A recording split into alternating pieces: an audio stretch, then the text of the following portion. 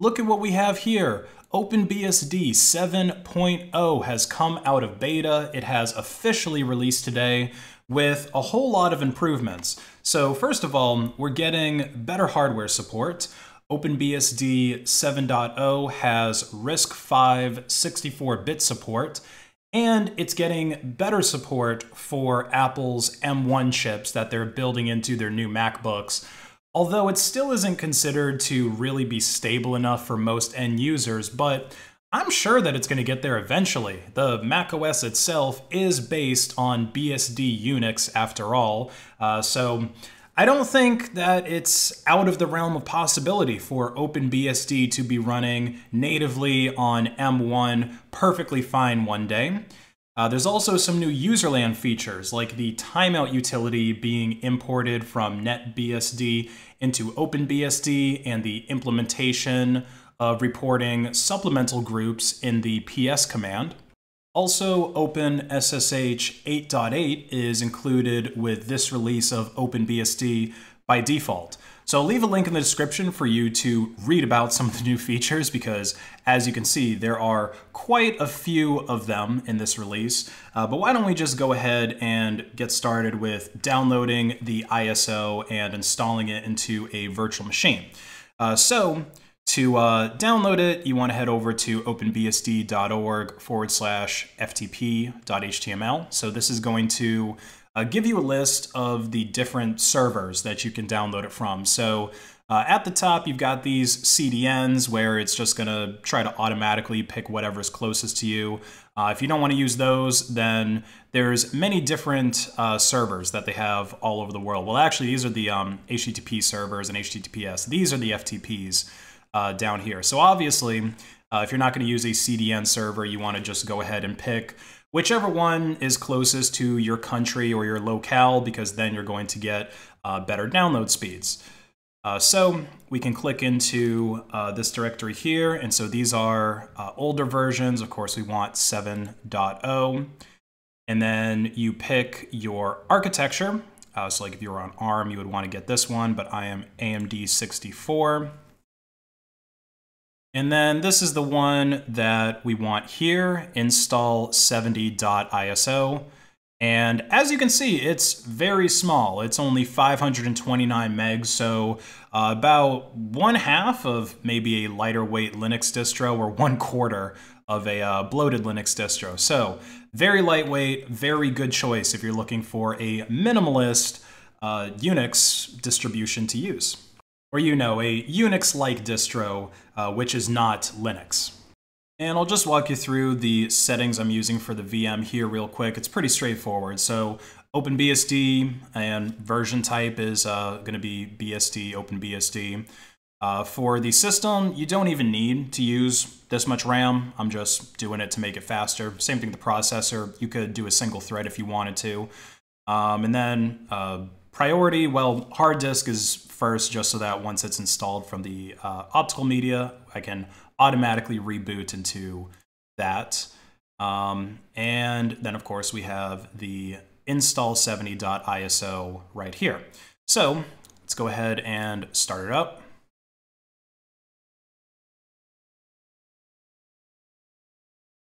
Full screen it. Okay, and then this is uh, what it looks like when it's starting up, just loading everything. And uh, I should actually zoom this in a little bit so that you can see it better. Okay, that looks better. So now I'll walk you through the install process. Uh, it's pretty straightforward. So we're going to do I to start installing. Uh, you would want to do U if you are upgrading. Uh, keyboard layout, we'll just hit enter to use the default. Uh, your system host name, we'll call it open-based. And available network interfaces, so typically uh, by default you're going to be EM0 uh, and of course the uh, VLAN 0. If you have a wireless LAN, then you can go ahead and configure that here, but you probably don't have that in a VM. Uh, so we'll hit enter to use that. And we'll hit enter on autoconf because we want to use DHCP for our IPv4 address. And then um, we don't need to do IPv6, so we'll just do none for that right now. And uh, which network interface do we want to configure? Um, well, we're not configuring any other one, so we're done. And then we'll enter the password for our root account. There we go. And then you have the choice of starting uh, SSHD by default. I'll go ahead and hit yes for this, uh, but if you're not actually going to be using uh, SSH on your machine, then you probably don't want to have it running. And do you expect to run the X Windows system? Yes, of course. We want to have a desktop environment. We want it to look good. Okay, and now it's asking if we want the X Windows system to be started by uh, Xeno DM. Uh, so this is the login manager, I guess default login manager for OpenBSD, which apparently is supposed to be more secure for running X instead of doing start X. Personally, I haven't really looked into xenodm, but I'll take the OpenBSD dev's word for it and I'll just go ahead and install it. Uh, never had to mess with that on any of my web servers because of course I'm not using a GUI on them. Uh, and then we'll set up a user. So we'll make it Kenny. And we'll do Kenny again with a capital K for the uh, user's name. And then password for Kenny. Here we go. And allow root SSH login. No, that is not a good idea. And what time zone are you in? Hey, they figured out I'm in the uh, East Coast by default. So yeah, we'll do that. Um, available disks, yeah, so this is the disk that we're going to uh, install it to. So we'll just hit enter on that. Uh, and then we're going to use the whole disk because it's a virtual machine. We don't need to deal with partitioning. And we'll just go ahead and do the auto layout. And let's see, we have the location of the sets. Uh, I'll go ahead and do it on CD0. Uh, path name to the sets looks good to me. I'll hit enter on that too. And uh, yeah, everything looks good here. So we'll type done. And uh, sure, we'll continue without verification. And now it's going to go ahead and install. So this will take just a couple of minutes uh, since I'm on an SSD, but I'll pause it for you guys, not to waste your time. Okay, and for our location of sets, go ahead and do uh, done again. Oh, actually, I could have just hit enter on that. Uh, time appears wrong. Yeah, let's go ahead and fix my time zone, or uh, fix my system time, rather.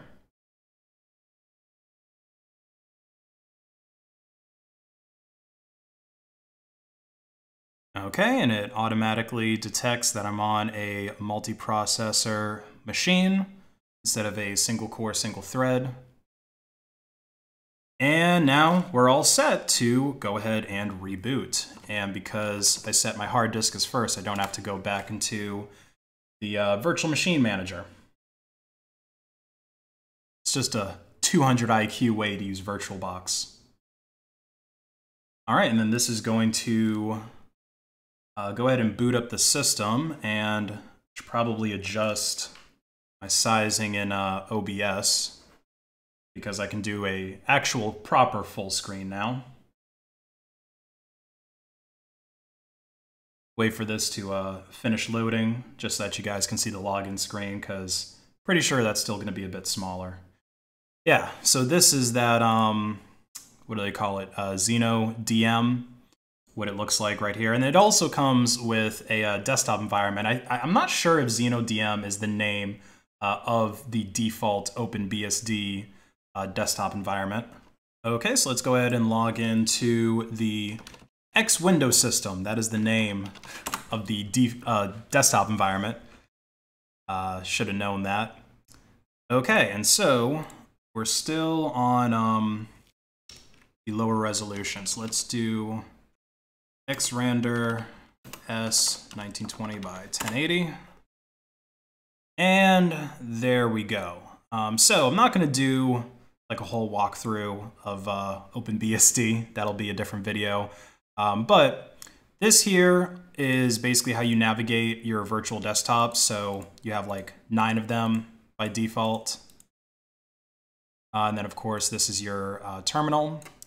And the Uh, package manager, you use pkg, um, pkg add to install something, or if you want to query, you can do pkg info search htop. So like that'll let you um, check to see if a uh, package is in the repository, and of course htop is. So I'm gonna go ahead and install it just to get a quick uh, system footprint.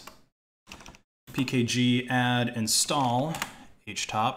Um, oh, of course, I have to run it as root. And we don't do sudo or sudo on BSD. We do doas. So doas pkg add install htop. So it looks like apparently I forgot that by default, a regular user does not have access to the doas command on OpenBSD. We have to edit our uh, doas.conf file. In fact, looks like we don't even have one yet. So we have to create it and uh, edit it so we can do that. So go ahead and become a root user. And then we'll vi into etc doas.conf. Well, rather, we're creating it. And then we just need to type permit wheel. So this is going to let anyone who's in the wheel group use doas, which is going to be pretty much any standard user. Uh, we'll write quit that. And uh, we should be able to now exit back to our regular user and then rerun this command.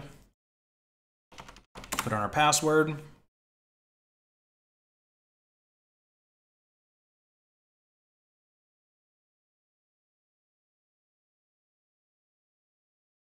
And look at that, we installed HTOP.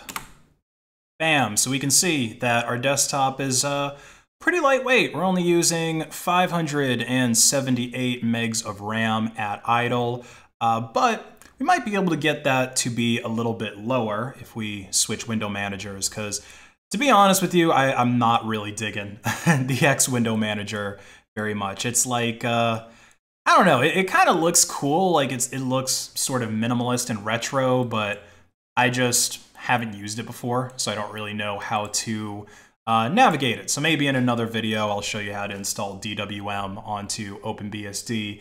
Uh, but for now, go ahead and download OpenBSD 7.0 for yourself, tinker with it, let me know what you think about it, and as always, like and share this video to hack the algorithm, and have a great rest of your day.